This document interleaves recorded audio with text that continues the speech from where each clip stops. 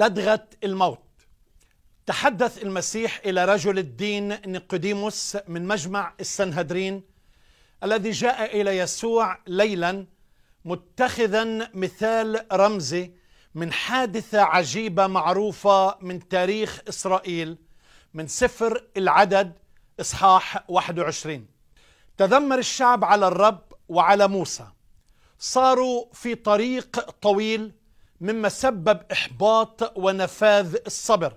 كان الطريق يصفها في سفر التثنية إصحاح 8 الذي صار بك في القفر العظيم المخوف مكان حيات محرقة وعقارب وعطش حيث ليس ماء الذي أخرج لك ماء من صخرة الصوان. لقد تذمروا على الطعام السخيف والماء طبعا المشقة والعناء لأنهم رجعوا في قلوبهم إلى أرض مصر.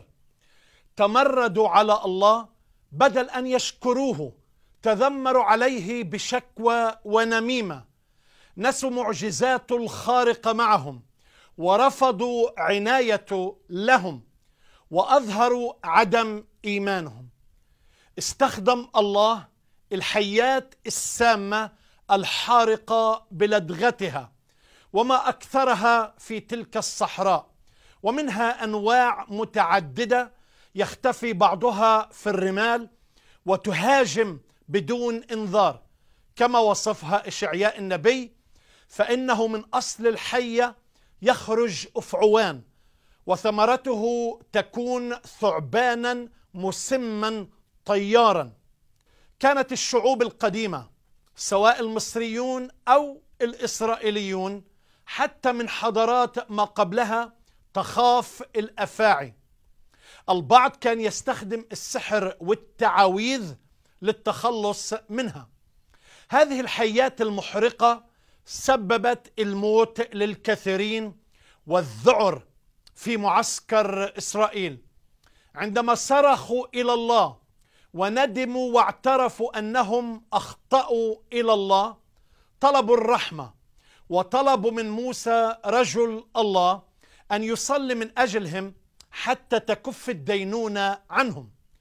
دبر الرب لهم طريقة عجيبة للإنقاذ والخلاص أن يضع راية عالية ويضع عليها الحية النحاسية.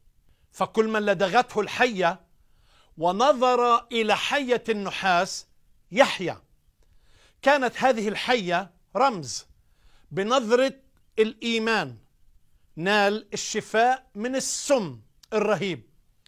ظلت هذه الحادثة في تفكيرهم لدرجة أنها أصبحت صنم معبود وقدموا العبادة لنحشتان.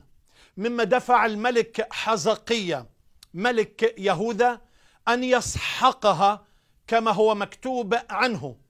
هو أزال المرتفعات وكسر التماثيل وقطع السواري وسحق حية النحاس التي عملها موسى لأن بني إسرائيل كانوا إلى تلك الأيام يوقدون لها ودعوها نحشتان.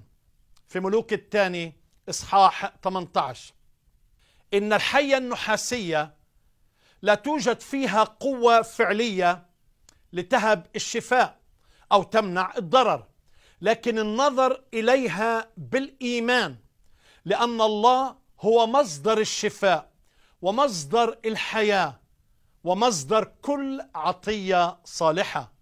لقد كانت الحية رمزا وعلامة بأن يوجهوا أفكارهم وقلوبهم لله وحده إلى مصدر الشفاء ومصدر البركات من الطعام والماء لتسديد احتياجاتهم. استخدم المسيح هذه الحادثة من الرمز إلى المرموز قائلا.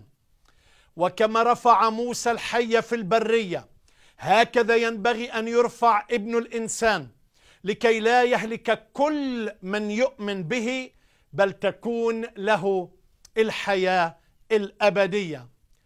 رفعت الحيه أمام المحتضرين الذين سرى فيهم السم القاتل. هكذا ينبغي أن يرفع ابن الإنسان على الصليب. من ينظر إليه نظرة الإيمان واضعا ثقته الكاملة فيه.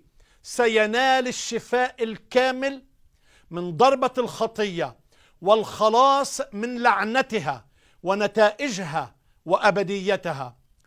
لقد رفع المسيح على خشبة الصليب وأيضا رفع إلى المجد إذ صعد إلى السماء.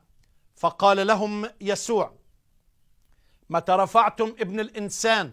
فحينئذ تفهمون إني أنا هو وأنا إن ارتفعت عن الأرض أجذب إلي الجميع.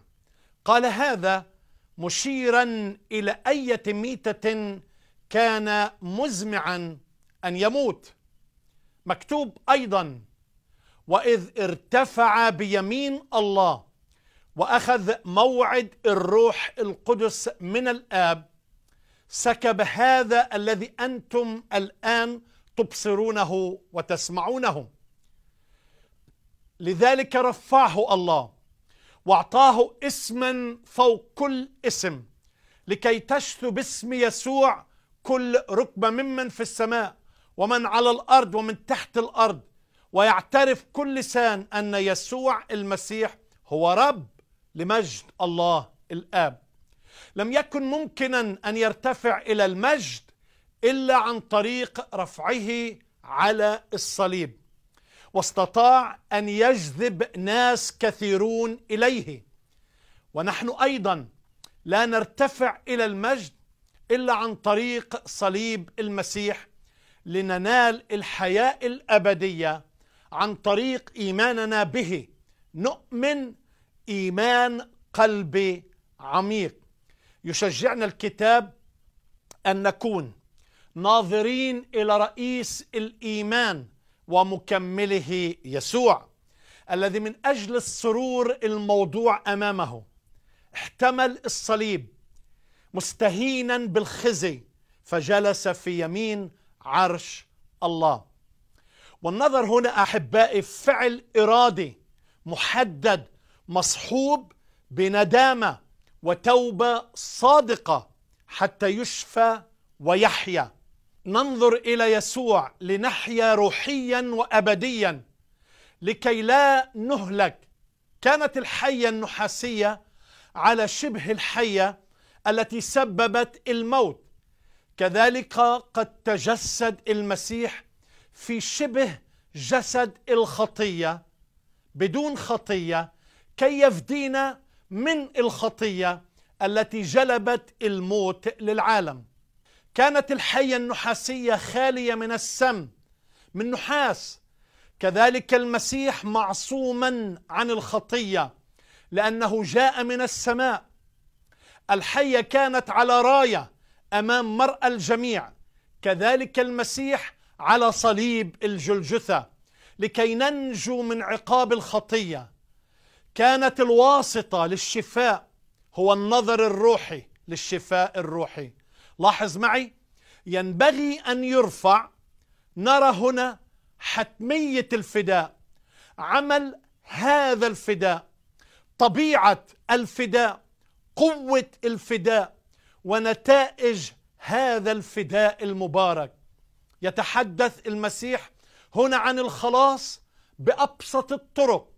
فقط انظر إلى يسوع. ناظرين إلى رئيس الإيمان. نظروا إليه واستناروا ووجوههم لم تخجل. التفتوا إلي واخلصوا يا جميع أقاصي الأرض لأني أنا الله وليس آخر. فقد جعلتك نورا للأمم لتكون خلاصي إلى أقصى الأرض. لأن الكتاب يقول كل من يؤمن به لا يخزى وأن كل من يدعو باسم الرب يخلص. لأنه ليس بأحد غيره الخلاص لأن ليس اسم آخر تحت السماء قد أعطي بين الناس به ينبغي أن نخلص. لأنك إن اعترفت بفمك بالرب يسوع وآمنت بقلبك أن الله أقامه من الأموات. خلاص. لأن القلب يؤمن به للبر والفم يعترف به للخلاص. هل لدغت بسم الحية القديمة بالخطية المميتة انظر إلى يسوع فتحيا. لقد شفي الشعب بنظرة إيمان إلى الحية النحاسية. لكن عندما تنظر إلى يسوع بالتوبة والإيمان فتنال الحياة الأبدية. حياة ذات الله في الحاضر. لأن المسيح هو مصدر الشفاء ومصدر الحياة. إنها الحياة الأبدية إلى أبد الآبدين. معه في السماء. لأنه وعد الحق الحق أقول لكم إن من يسمع كلامي ويؤمن بالذي أرسلني فله حياة أبدية ولا ياتي إلى دينونة بل قد انتقل من الموت إلى الحياة. فالمسيح خبز الحياة الطريق والحق والحياة القيامة والحياة وفيه كانت الحياة. وكما رفع موسى الحي في البرية.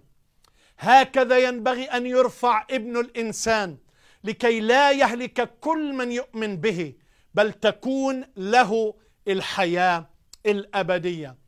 لأنه هكذا أحب الله العالم حتى بذل ابنه الوحيد لكي لا يهلك كل من يؤمن به بل تكون له الحياة الأبدية. انظر إلى يسوع فتحيا. ربنا يباركك.